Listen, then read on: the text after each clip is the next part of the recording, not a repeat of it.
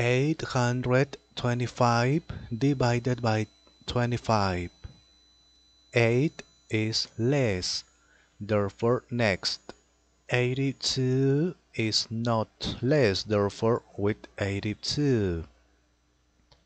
25 multiply by which number is nearest to 82 but not greater 25 multiply by 4 100 100 is greater.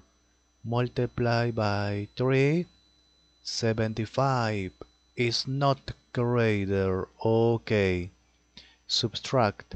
82 minus 75 is 7 next 75 25 multiplied by 3 75 is not greater.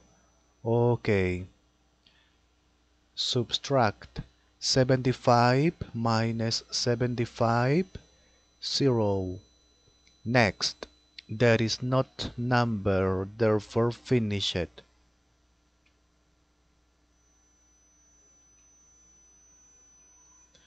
Okay.